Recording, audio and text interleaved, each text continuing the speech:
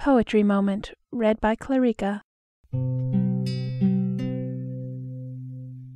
Broken Friendship by Samuel Taylor Coleridge. Alas, they had been friends in youth, But whispering tongues can poison truth, And constancy lives in realms above, And life is thorny, and youth is vain and to be wroth with the one we love Doth work like madness in the brain.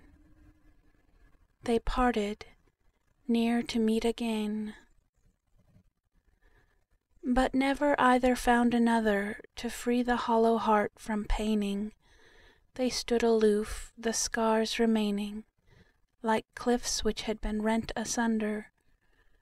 A dreary sea now flows between but neither heat, nor frost, nor thunder Shall wholly do away, I ween, The marks of that which once had been.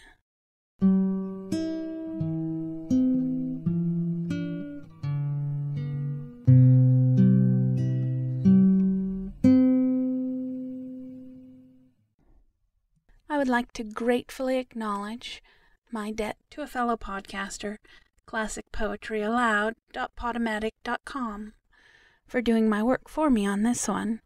As soon as I heard this poem yesterday, I knew I had to do it, and right away is better than later. So, thanks for finding this one for me. Cheers.